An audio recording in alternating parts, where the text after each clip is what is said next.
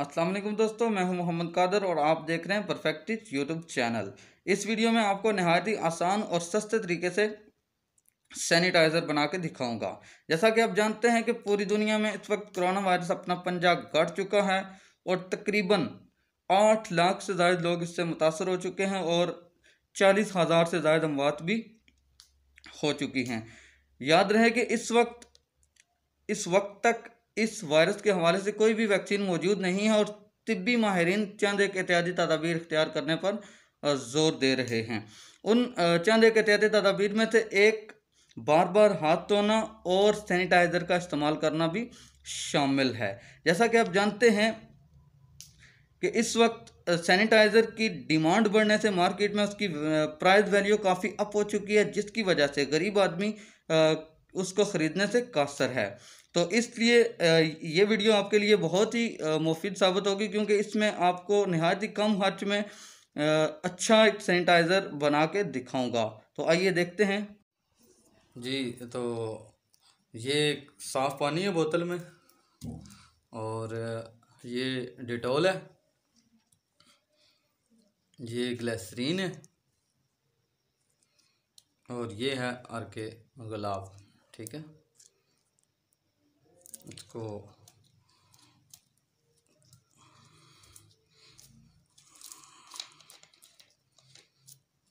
ये एक ढक्कन इसमें डाल लेते हैं।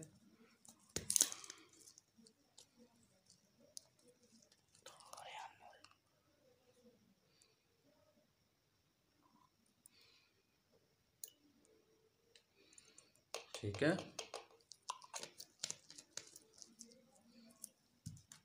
यार के गुलाब है, इसको भी थोड़ा सा इसमें शामिल कर लेते हैं।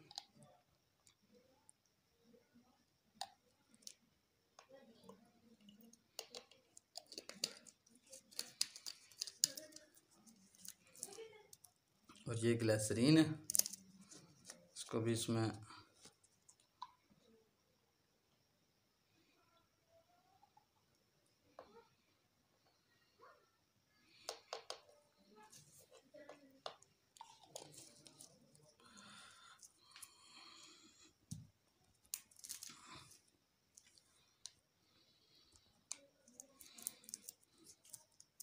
सराख करते हैं इसमें।